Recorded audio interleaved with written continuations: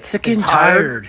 of these aphids and these other bugs. Where online can I find information on how to get rid of aphids? Okay, let me see.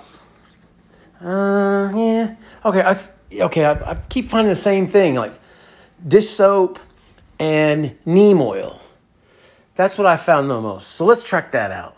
Let's try that out. That seems to be the positive one and the most popular one. Man, I'm just tired of all these aphids, man. Just gotta spray them, spray the plants.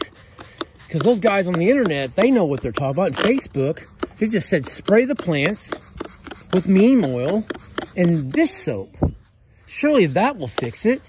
That'll kill that that'll kill the bugs off, and the plants will be forever saved. If they're on the internet, they have to know what they're talking about. Hmm. This ought to work. This has got to work. Oh man, what the heck? I thought those people on the internet knew what they were talking about. What the? Ah. foiled again. What the heck? What the? Man. Neem oil. Dawn. Dish soap? Not again. Ugh. I need to get some real advice.